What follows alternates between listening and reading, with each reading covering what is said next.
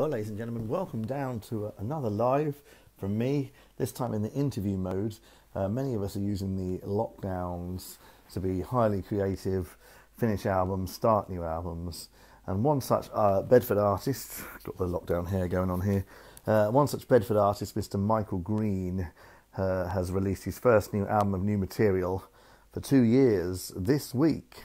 And uh, he's going to be coming on here in a minute, hopefully, and we're going to be doing a little interview about this album. There's Mr. Michael Green. Hello, hello. How are you? Well, before we go any further, before great. we start, how's our echo situation? Have we got it? No, I can't hear any. Oh, echo. yeah, we're all good. Michael Green, great to see you. Um, back again on the Bedford interviews. How you been doing? Yeah, been good. Yeah, been. Uh, as you can see, I've been uh, keeping productive, Which is keeping which is what I was just saying at the start of this video. So Michael has got a brand new album out this week. Three, two, one. Michael, let's hear what it's all about. So yeah, um, basically with this lockdown, in my head, I was like, I needed something for me to be productive with my songwriting. I thought, well, with me, I tend to write mostly when I've got something to work towards, like a project or something like that. Yeah. So I thought to myself, thought to myself, actually, like, um, yeah, actually, let's let's just write some songs for projects, like um, maybe like a live, just do some videos for my YouTube and things.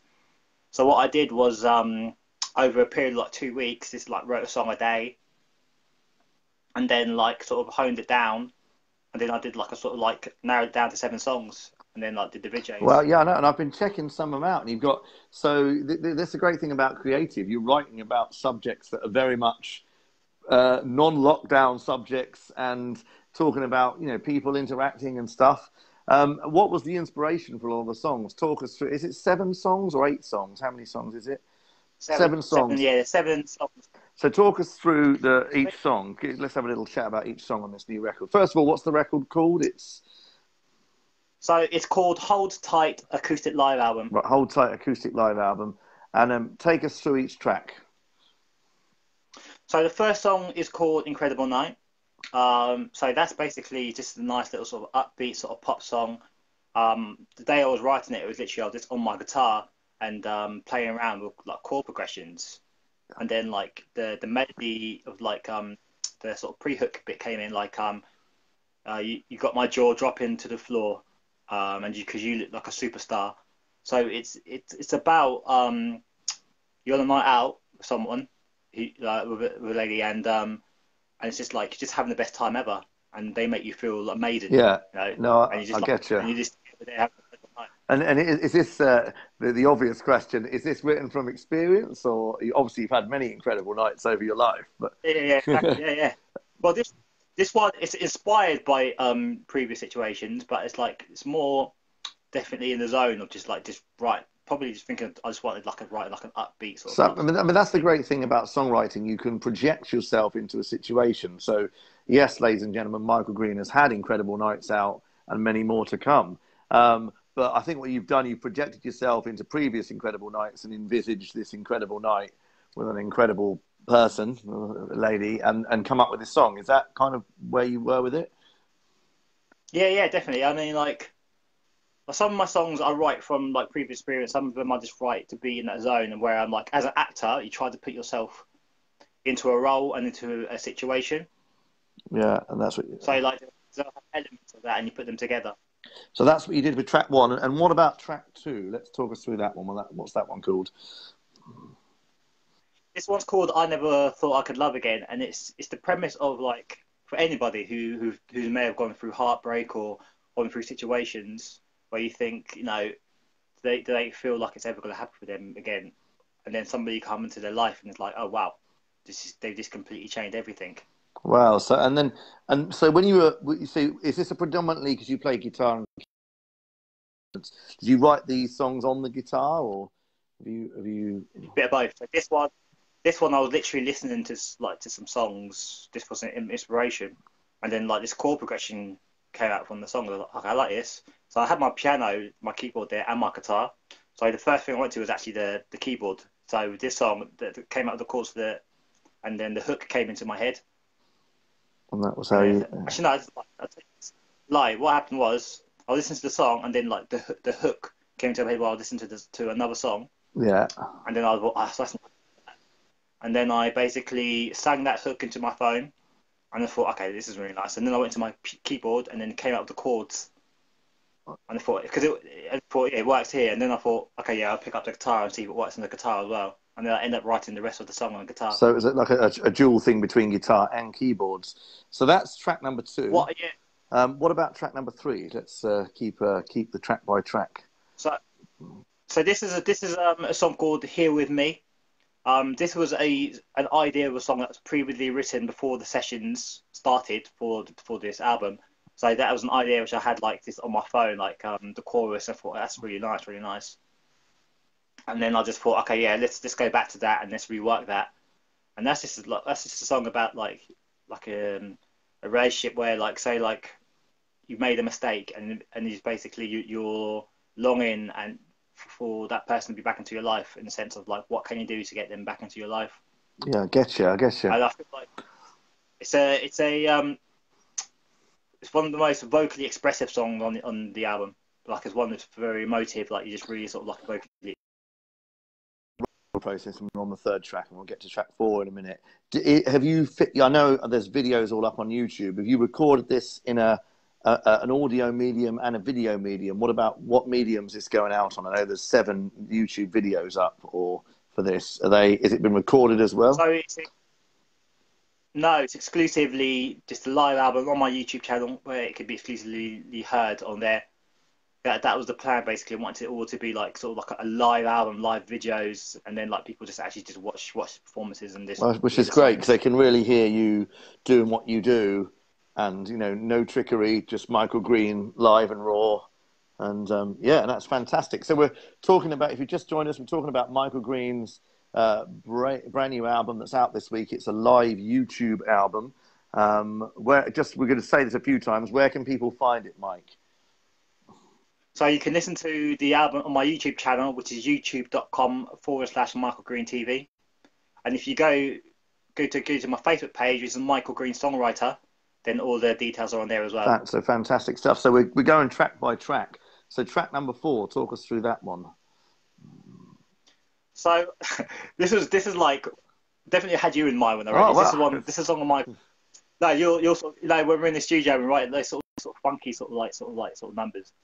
Um, so I was playing around yeah. on the guitar and playing around with some the chords and like some sound. I thought oh, I, like, I like this sort of progression that I had here, and yeah. like it's a sort of like funky. It's a song called um, "What's Your Name," What's and your name? um, yeah. So the, the premise is basically you literally you walk in. It's, it's telling the story walking through a street, and then you see somebody who like a, a really attractive lady, and then catches your eye, and you think, okay, you're in that moment. Okay, what do I say?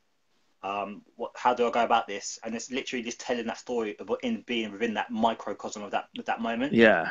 And it's it's just it's a nice little like a funky sort of like vibe of that, really. The vibe of that. Okay, so that I'm looking forward to. Uh, I've, I've had a brief listen to, to some of it last night. Well, it dropped at midnight last night, didn't it? Is that roughly? Yeah, yeah, yeah did yeah. Um, what, so, what about track number five? Talk us through that one. This is the track by track.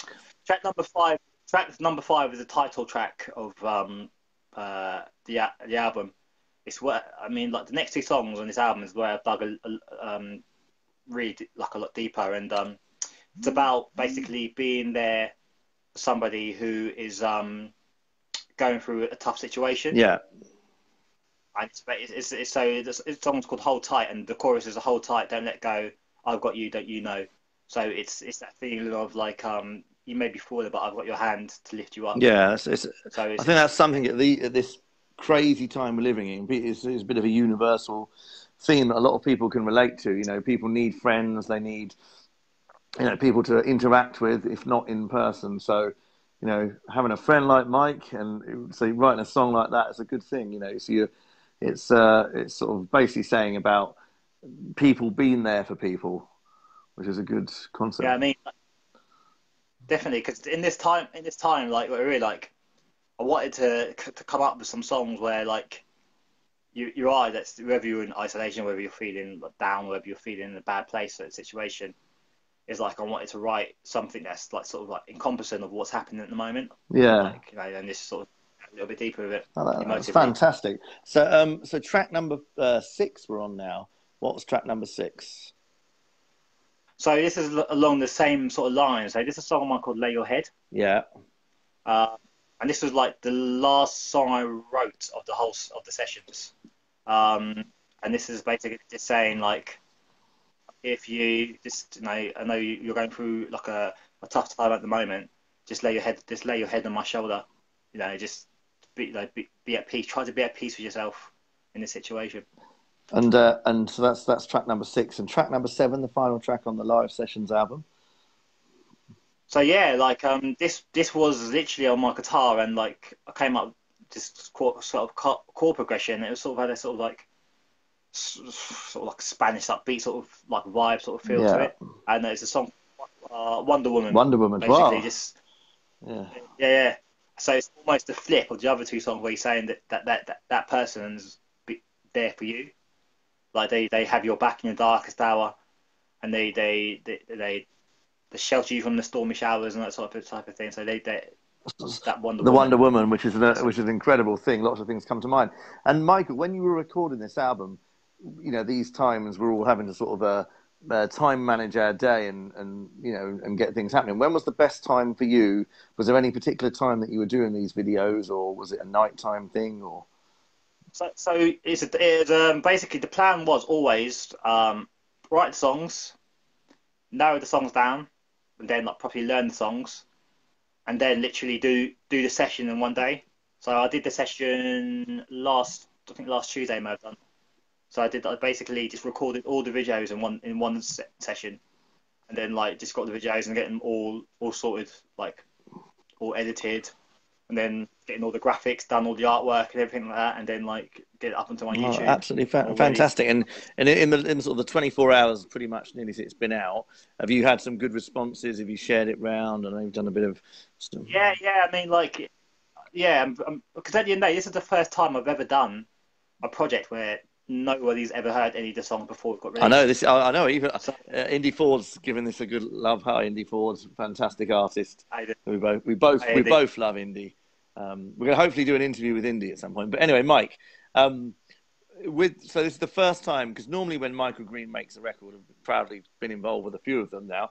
You'll play the songs at nights. You'll there'll be a, a, a, period of building up me or whoever your collaborator is, like learning the songs. But with this one, you've, you've literally, it's an isolation album, isn't it? You've had to write and learn the songs yourself and perform the songs yourself.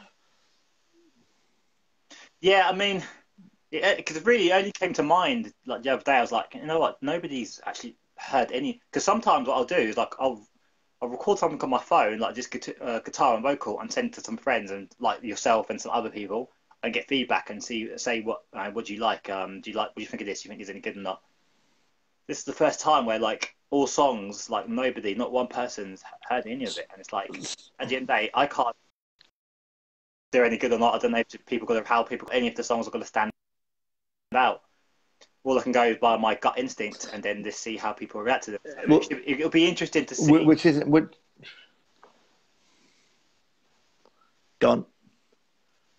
No, yeah. Um, yeah, sorry, wasn't sure if it's if it paused there. Um, yeah, it'd be interesting to see what people think, and it's been, I suppose, it's been a good exercise for you because you really have to like self-discipline yourself to go right, Michael.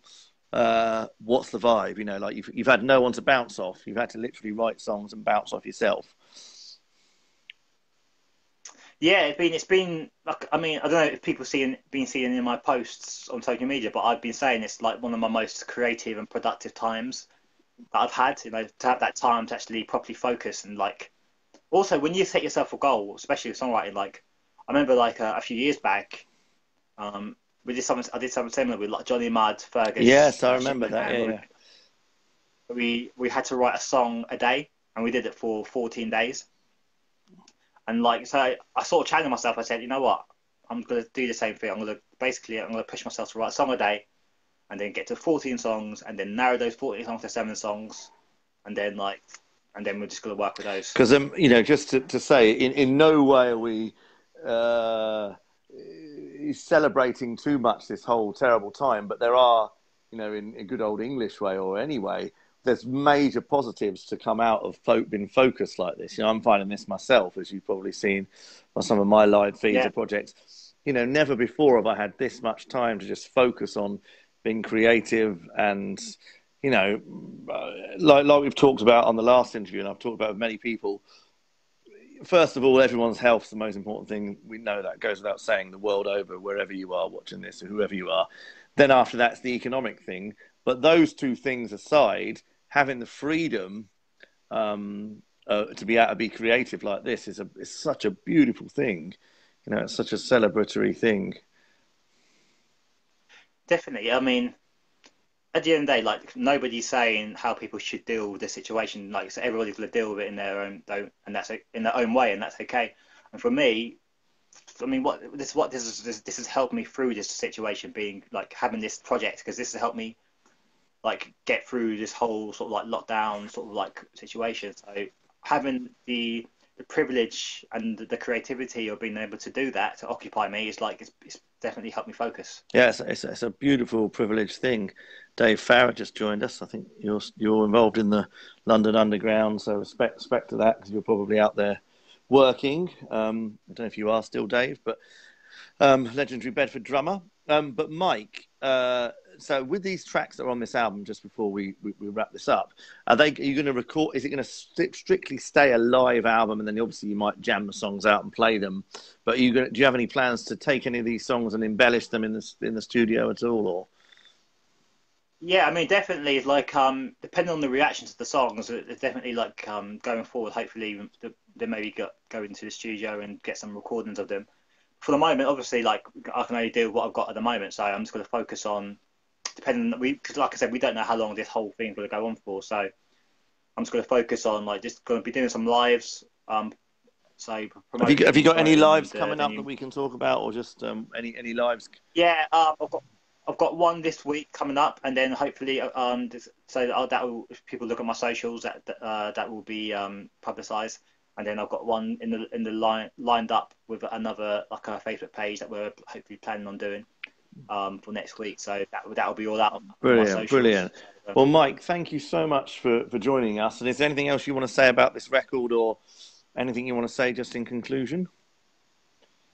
Yeah, I mean, like, feel free if anyone wants to go and uh, listen to it. Then uh, feel like any feedback, any comments you want to put on, it'd be great to get. Like I said, because I don't really know how people to react. It'd be, it'd be great to get people's reactions and if there's any songs that are standing out that they like it'd be great to know that because it'll just help me going forward because it'll help me going forward with potentially songs that I may record into the studio and then also songs which I will be playing live as well. So definitely the feedback will be, be great. Well, Michael, thank you so much for taking the time out to do this interview. Um, it's been a pleasure to talk to you as always. Uh, keep checking out Michael Green's music from his most recent stuff to his uh, classic stuff. He really is a Bedford treasure. And Michael, please keep doing what you're doing because you're inspiring all of us, music, along with all the other musicians that is in our network, you know, doing things like this will just it has a knock on effect to, to everyone. Go on. Let me say one thing. One another reason why I've done this this album is I wanted to show show people that no like there's no real excuses when it comes to creativity in the sense that if you feel like you don't have the, the right um sort of like at home, you don't have like a Lost you. Coming back. Hello, Michael we lost him. We lost him on the crucial moment. Is he going to come back? Is he going to come back? Still watching. We've lost Michael on a crucial moment. Um, well, I think we've pause. Oh, there we go. Yeah, he's gone. But thank you so much for watching the live. We'll be back with some more interviews soon. That was Michael Green and I think he was going to say that he just uh, wanted to um, say that anything could be achieved in the lockdown, and what he's done is the, the proof. So t- thank you for watching. I'm Mat Roberts.